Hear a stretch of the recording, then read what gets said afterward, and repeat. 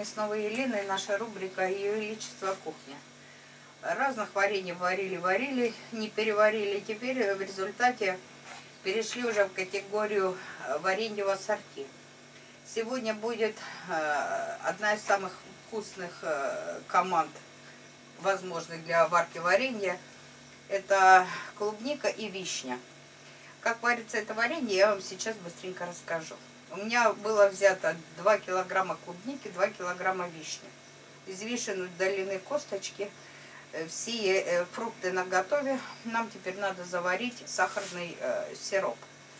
Из расчета на килограмм фруктов доливается полтора э, стакана воды. У нас, соответственно, 4 килограмма совокупности фруктов. Поэтому мы добавляем, как вы прекрасно понимаете, 6 стаканов воды. Ну, я сейчас этим и займусь. Раз.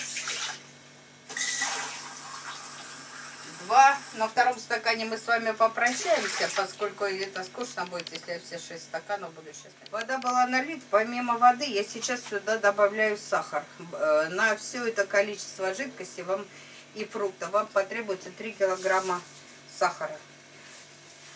Все теперь традиционным способом. Вода с сахаром перемешивается, отправляется на рассекатель, пока на очень мощный огонь, для того, чтобы ускорить прогревание сахара и заваривание его в сиропе.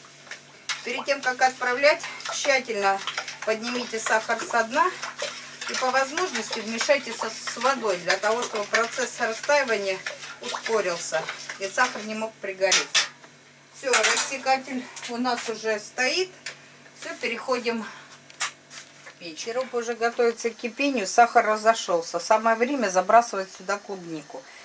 Любую ягоду в такое количество сиропа лучше забрасывать порциями.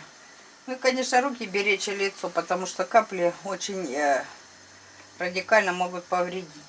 Вот сейчас мы пересыпем сюда клубнику. Когда восстановится кипение, оно сейчас потеряется, потому что ягода холодная, вот, будем варить клубнику около 10 минут.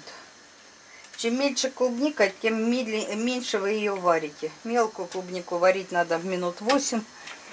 Среднего размера 10 минут, как у меня. Если вы варите очень крупную клубнику, ее надо варить до 15 минут при очень медленном кипении. Прогревание клубники шло при едва заметном кипении. Сигналом тому, что процесс уже э, прошел, является то, что она изменила свой цвет на более бледный. Теперь тот же прием, который мы применяли при варке других варений. При помощи мягкой шумовки вынимаем на блюдо наши ягоды, все до единой, для того, чтобы они не переварились и не изменили свою форму. Это еще не значит, что клубника сварена, она прошла только полпути, но оставлять ее в варенье нецелесообразно.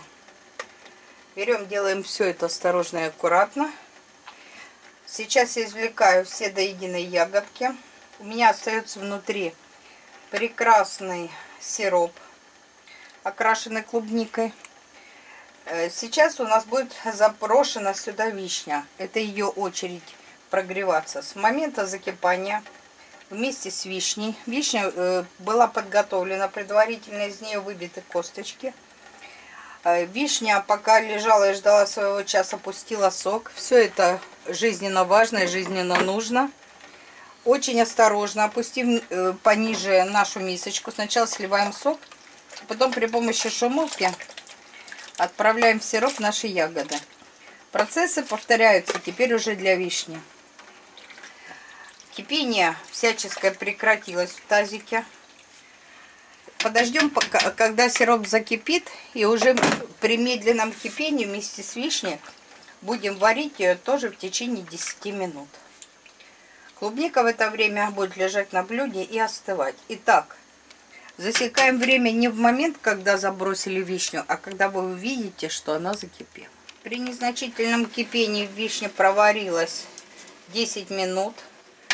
Пора продлевать наши действия. Досыпаем сюда чайную ложку без горки лимонной кислоты. Аккуратненько вмешаем ее осторожно, учитывая, что вишня у нас сейчас раскаленная, быстро очень ломается. Здесь надо проявлять осторожность. И теперь возвращаем сюда нашу клубнику. С момента возвращения клубники, после того, как кипение восстановится, мы будем варить наше варенье совместно уже в течение 10 минут. После этого можно будет варенье фасовать. Ну, в общем, так.